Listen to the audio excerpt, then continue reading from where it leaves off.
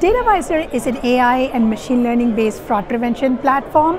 Uh, we basically serve all consumer facing organizations uh, and protect them against any kind of fraud and malicious activity. Well, one of the very interesting topics and one you know that we all know has been going on is really open banking and of course the implications of GDPR and you know like every organization who has been impacted uh, by open banking, which is all the financial institutions here. The question is really how do we really deliver good customer experience without increasing friction while at the same time mitigating the fraud and risk associated with open banking.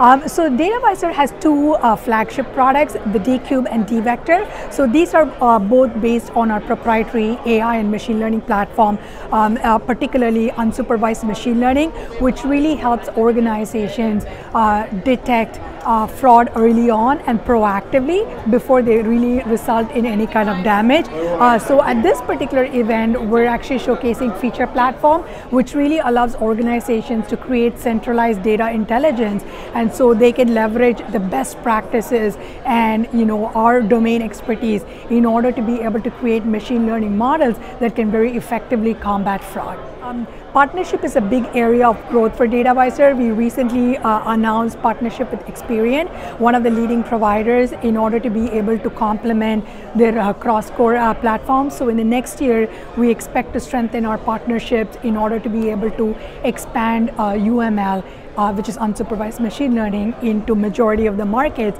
And in terms of product development as well you know really strengthening our core product suite with not just um, you know with not just our uh, unsupervised machine learning product but also be able to help organization manage fraud holistically with rules engines feature platforms and consequently like decision engines